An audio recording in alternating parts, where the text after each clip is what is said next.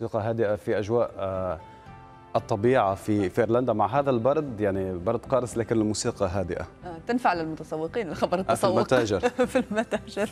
بالفعل. مشاهدينا لن نبتعد كثيرا عن الفنون لكن هذه المرة كتابات الخط العربي حاضرة معنا في المساجد التي كانت مصدر إلهام كبير للخطاط والأسير المحرر الأردني عبد الرحمن مرعي. بعد فترة من ممارسة هواية الخط طور الخطاط الأردني أدواته في إتقان الخط العربي واليوم يبرع فيه ويسخره لخدمة الحدث المونديالي. نتابع.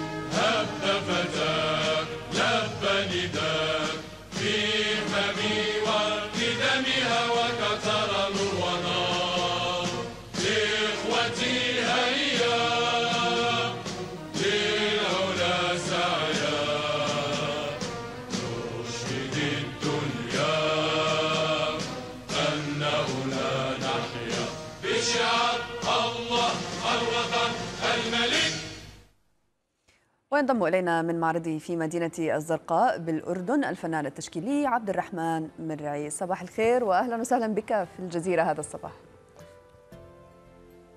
صباح الخير أستاذ لينا صباح الخير أستاذ خالد وجميع المشاهدين. أهلا فيكم.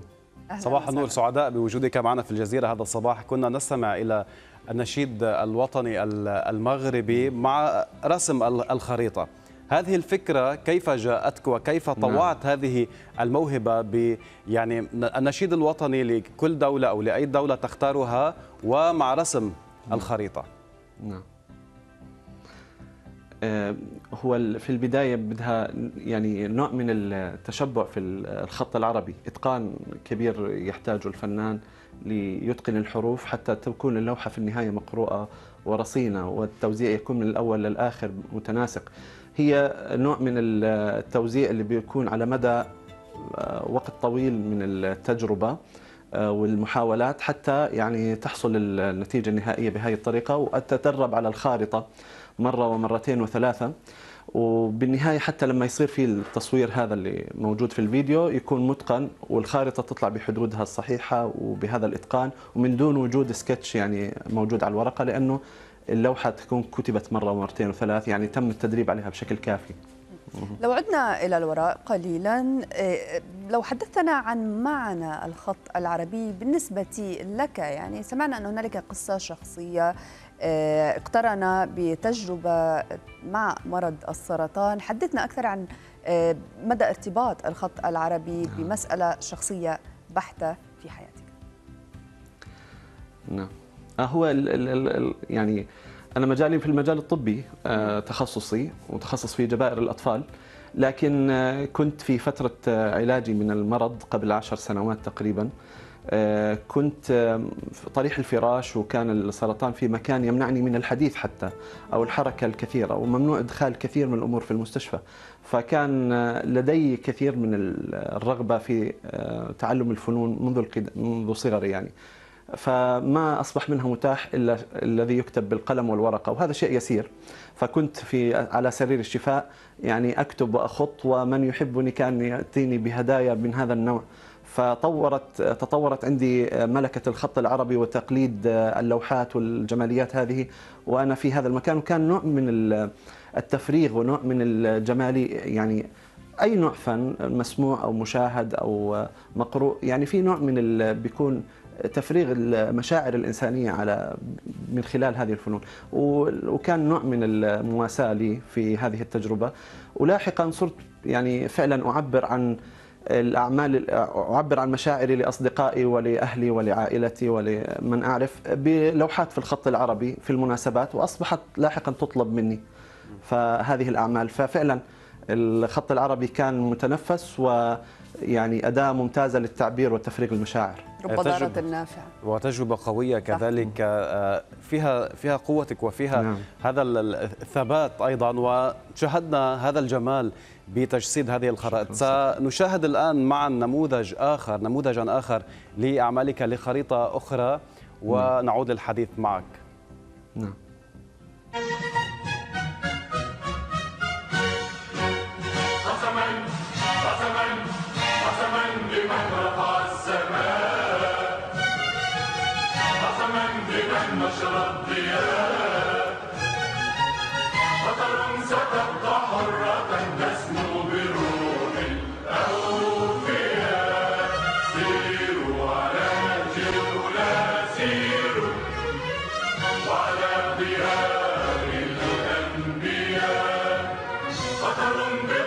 is here.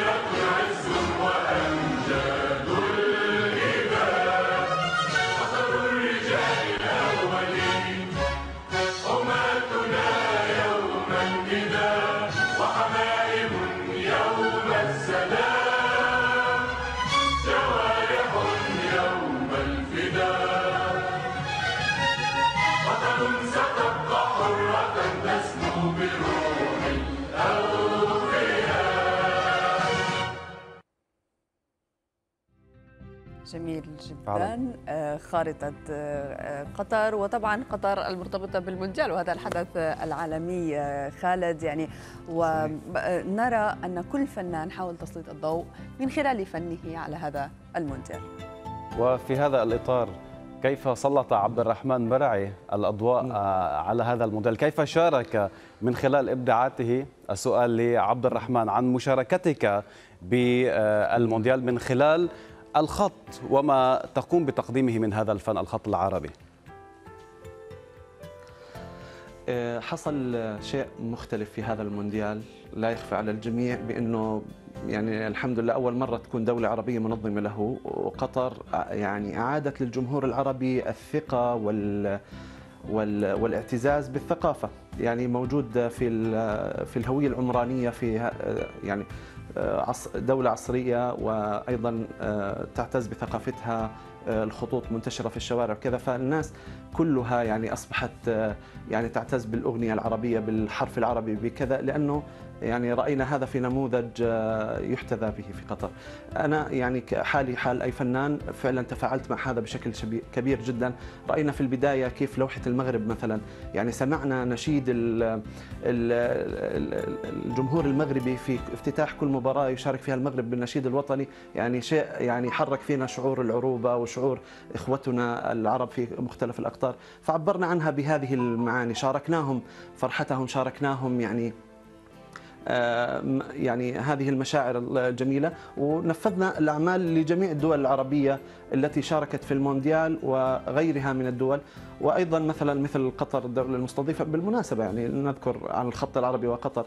18 ديسمبر هو يوم اللغة, آه، اللغة آه، يوم الخط العربي العالمي. وهو أيضا آه، أو يوم اللغة. العربية.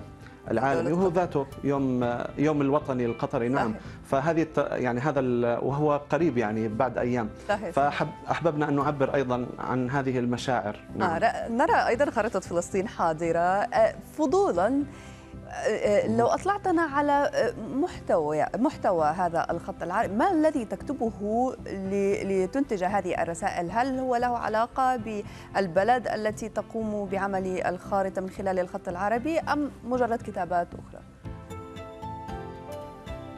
هو هذا المشروع شخصي هو معرض شخصي أقوم به آه، حاليا آه، يعني المكان ضيق لا يتسع لعرض جميع الخرائط إنما آه، كثير من المناسبات التي يعني أو الطلبات الخاصة التي تصلني عن طريق مشروعي الصغير مداد آه، يكون للتعبير عن مناسبة وطنية أو للإهداء أو الناس يعني تحب أن تقتني آه، شيء يعبر عن حب وطنها في المنزل.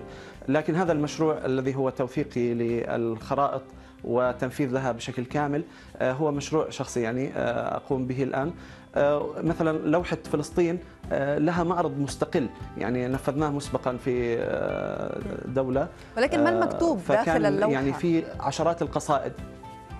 آه هذه اللوحة مثلا آه. ممكن آه، نستعرض لكم هنا مثلا عن طريق ال QR code. هي آه، قصيدة اللي هي القصيدة هي آه، غنيت لا تسل عن سلامته روحه فوق راحته. في هذا المحتوى. إذا تسمع الصوت. إلى آخر القصيدة تتشكل بشكل كامل. آه، طبعا هنا ال QR code نفذناه مع كل لوحة حتى يتسنى لمن يزور المكان. أن يعني يشاهد العمل ويرى المحتوى في كل ويتعرف عليه بشكل كبير. داخلها ويعيش هذا الإبداع. يعني الكلمات صحيح. كلمات القصائد من ذهب نعم. الفكرة من ذهب آه، خريطة البلاد العربية أو حتى النشيد الوطني أيضا كلمات من ذهب وخطك من ذهب. شكرا لك على وجودك معنا في الجزيرة. هذا الصباح عبد الرحمن مرعي من الأردن الفنان التشكيلي. شكرا لك.